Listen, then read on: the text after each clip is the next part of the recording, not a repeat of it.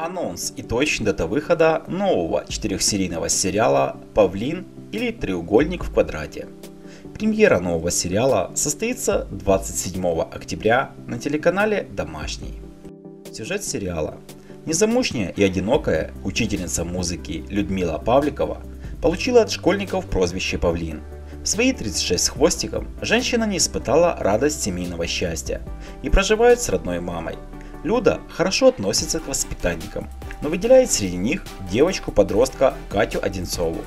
Бесстрашная и решительная девчонка, полюбив добросердечную музыкантшу, принимает решение познакомить ее со своим отцом, который тоже не может определиться с выбором подходящей пары.